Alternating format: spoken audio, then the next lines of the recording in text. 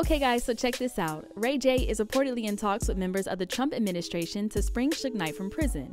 According to the Daily Mail, an insider close to the Love and Hip Hop Hollywood star says he wants Donald Trump to pardon Knight because the former Death Row CEO has learned his lesson. The source reportedly explained Ray J was inspired by his ex girlfriend Kim Kardashian, who was successful in getting clemency for Alice Johnson, a black woman convicted of drug trafficking in 1996 and released last year. But the source added Ray J is worried a meeting with Trump would tarnish his reputation within the black community. The people around Ray J keep telling him that the fallout with African Americans from meeting with Trump could be catastrophic to his career, the insider reportedly said, especially if he shows up at a political rally. Knight is currently serving a 28 year sentence for manslaughter after he struck and killed Terry Carter with his vehicle on the Straight Outta Compton movie set in January 2015.